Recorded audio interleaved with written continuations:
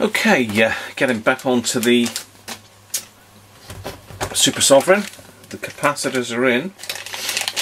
Um, axial capacitors are a lot dearer than radials, but in my opinion, they look a lot nicer. Now my 150 microfarad um, capacitors were slightly different configuration. They were um, minus 10 or plus 50 tolerance. So I've got some plus or minus 20s. So I'm hoping these will be a bit closer to the 150 microfarads that we're looking for.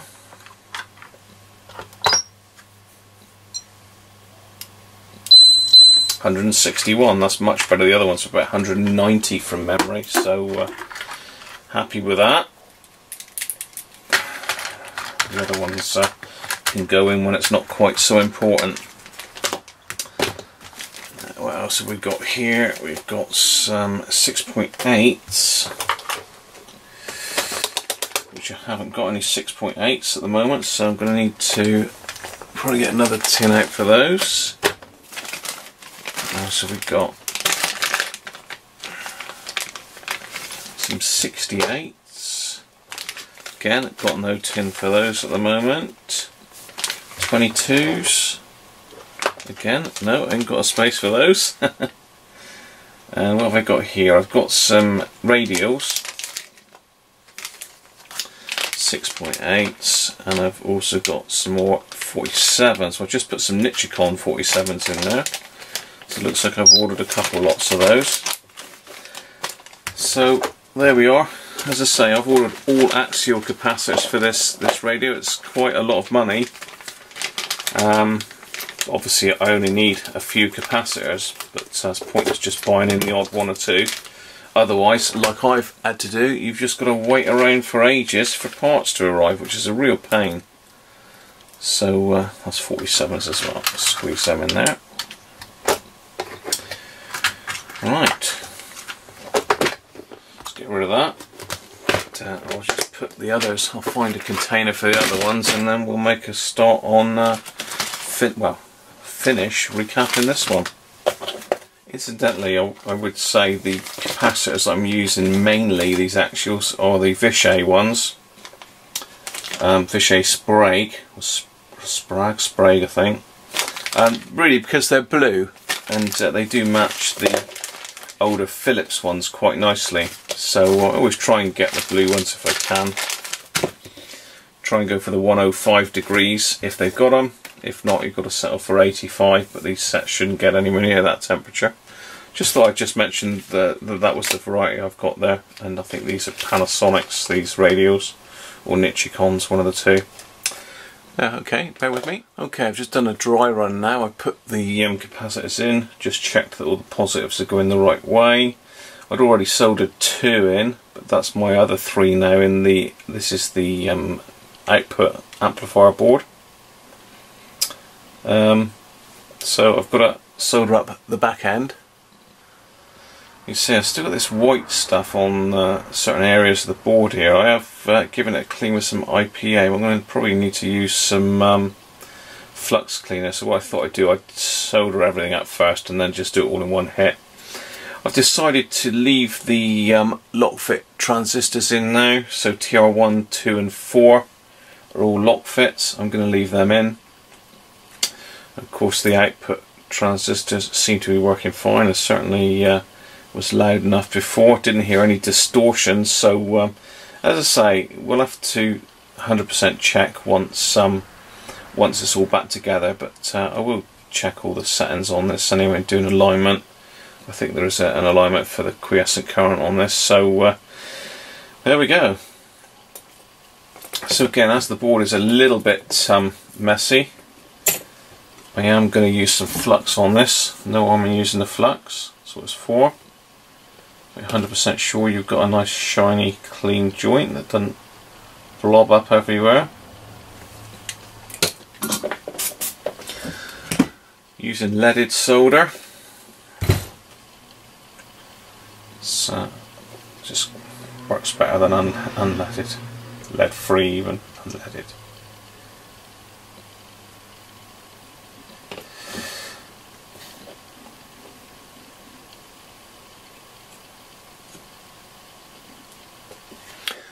Hopefully you can see what I'm doing here. Just uh, get up and uh, zoom out a little bit further.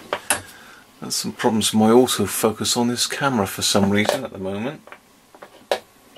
And for reference here I've just got the um, the component layout and I've marked on it what the uh, capacitor values were.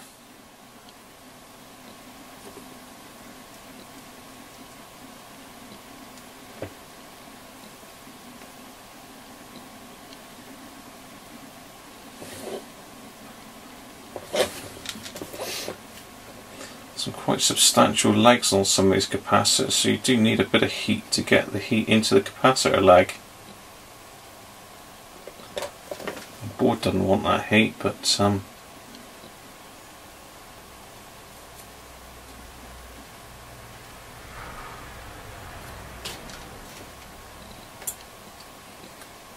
that's all of them done.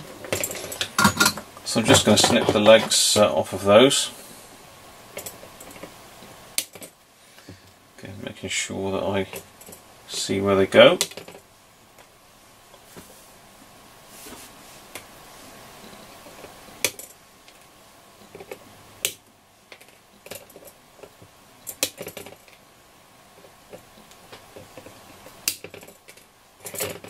Snip that one up a little bit neater than that.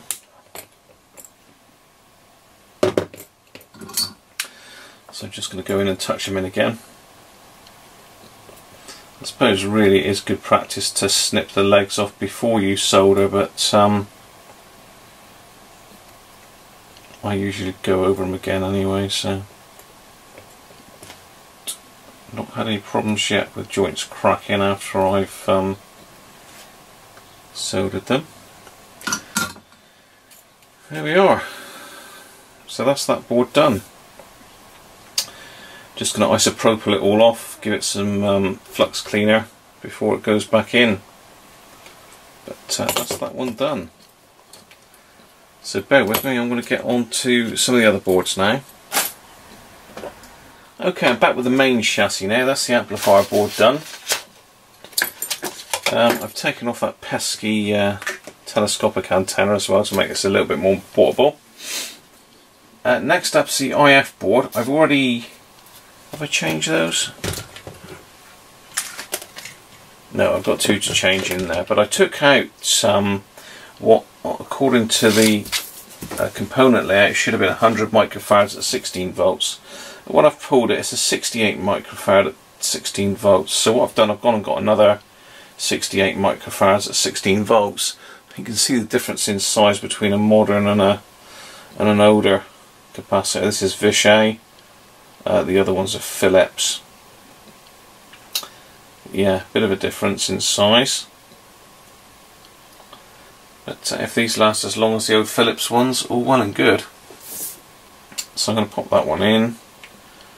Let's bend the leads uh, roughly the same.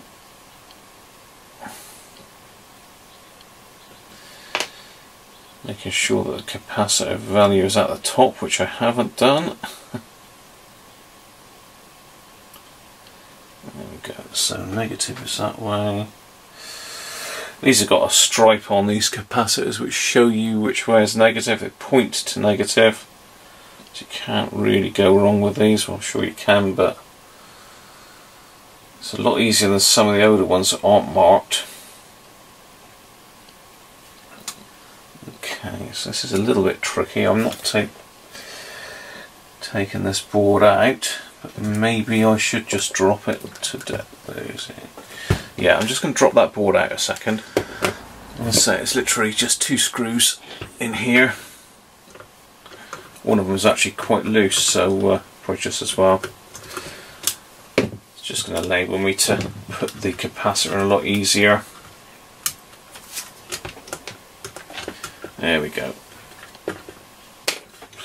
Try and put the other one back in then. So negative is that way.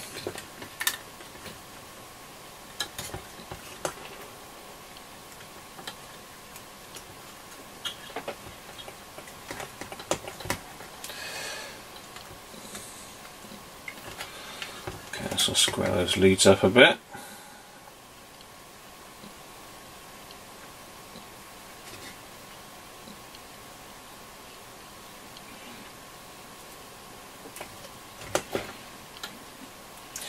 You can see it in under here, but you know. I'm sure in years to come someone else will be doing exactly the same job as this, so you never know change those. right, okay. There we go, so let's hook that one down out of the way. Again, a little bit of a flux. I'm going to solder that one in situ. Can find me the solder that is.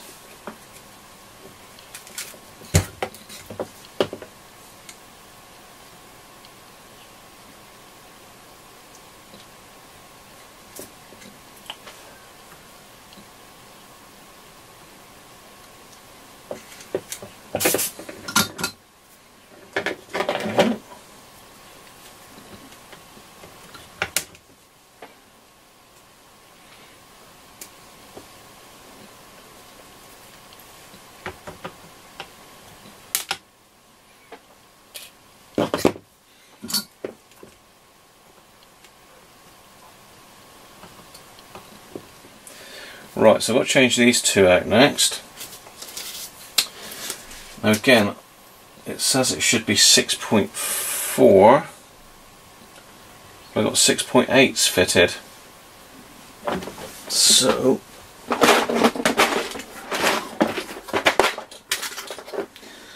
I've got some 6.8s. So that's what it's having back in it.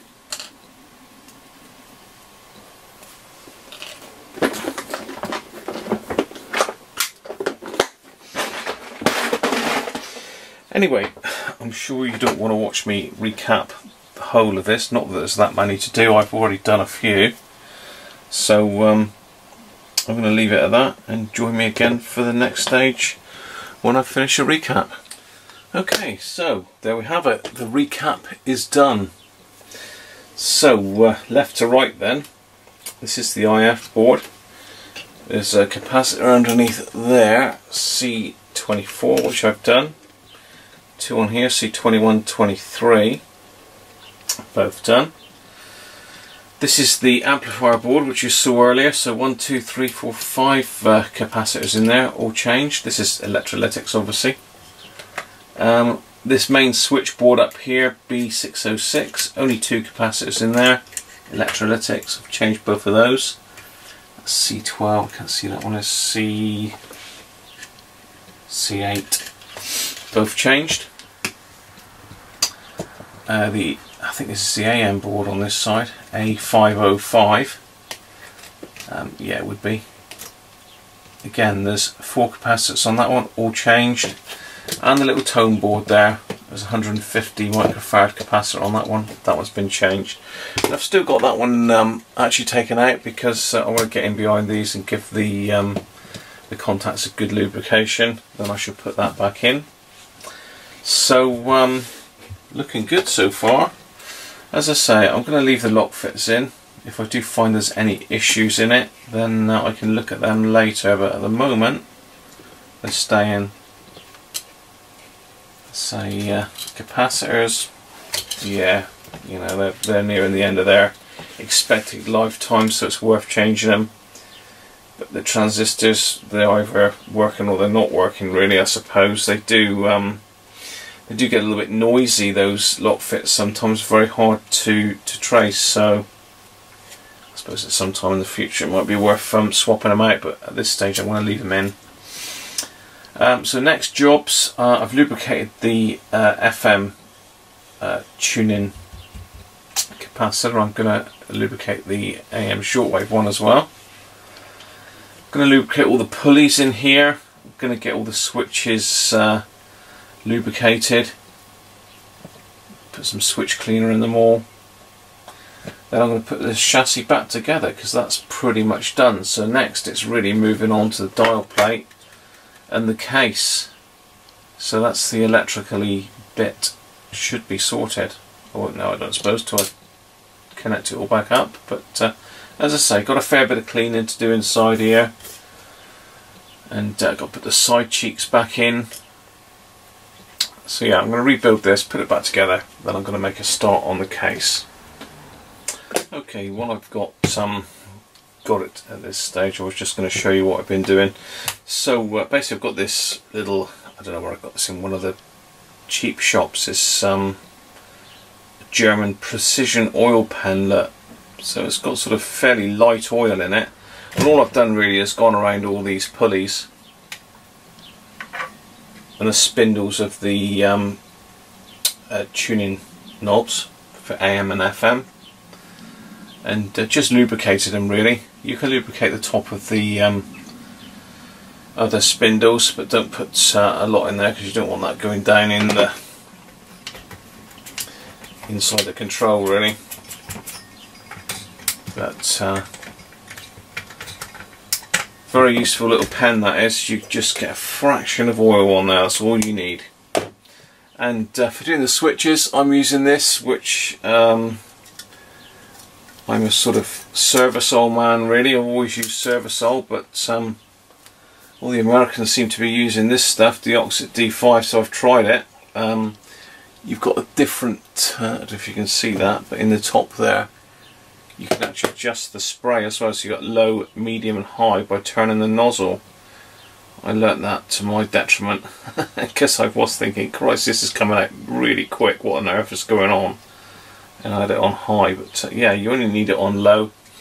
And basically what I'm going to do here I've got my volume control.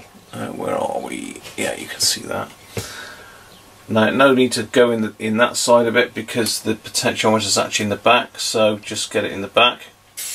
Give it a quick squirt. You don't need loads of this stuff. There's my phone again. Okay, so about that. So, next stage for me is these switch banks. Now I can get my nozzle into the back of most of these. The other two I can't get out of these, so I'm going to need to probably squirt some in from the front of here. It's a shame because I'd like to soak them all the way down through. But again, basically stick the nozzle in the back end of them, give them all a squirt.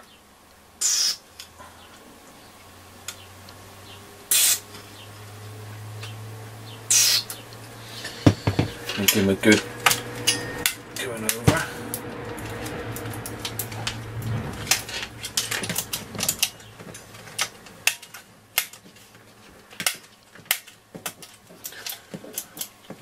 working on now to get that switch cleaner down inside. As I say, these other two, to have to try and get switch cleaner down through the spindles of them. Let's have a quick look at that, in the hope that it does get in there.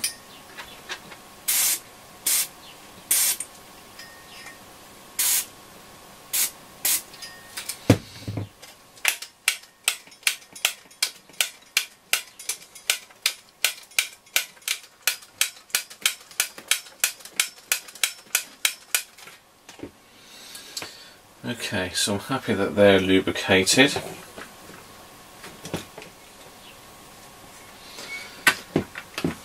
So just have a look, see what else I've got to lubricate really. So, tuning condenser. Again, do not get any oil on these vanes at all.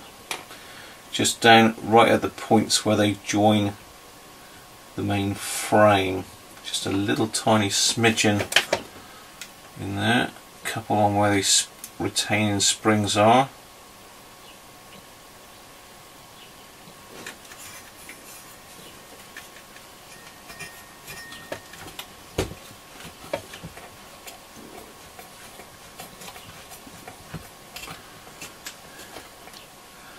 At the top there.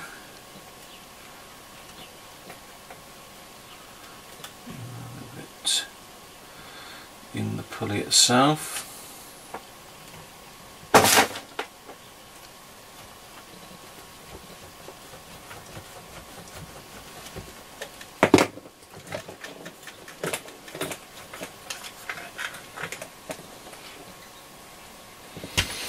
There we are, happy with that. Turn it full rotation.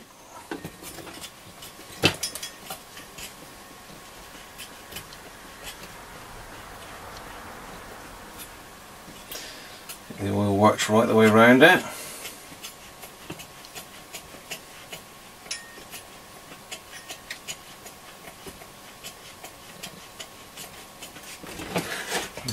We have got another little push button there, look. That's a little battery check one, so we'll give that a squirt as well.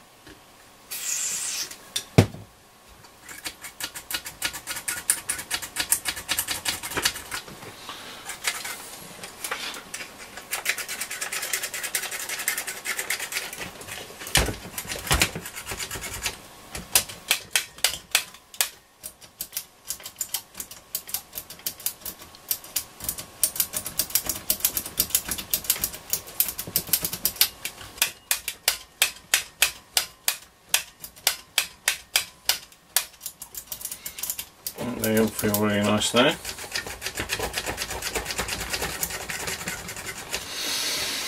Uh, there is a switch, the on-off switch in the back of the um, volume switch. Let's see if we can get in there.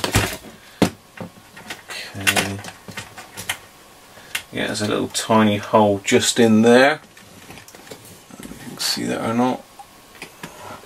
Let's get the camera down a little bit.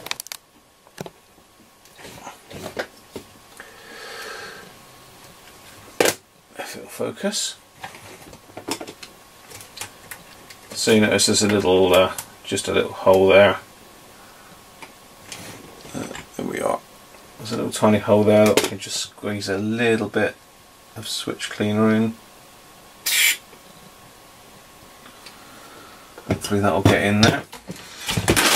There we are. So, um, as I say, oops, forgot the uh, tone controls. Let's uh, zoom out a little bit.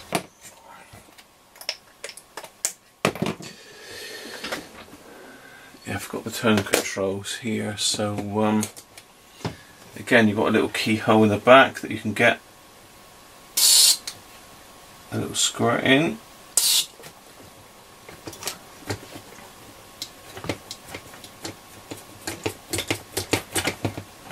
That um,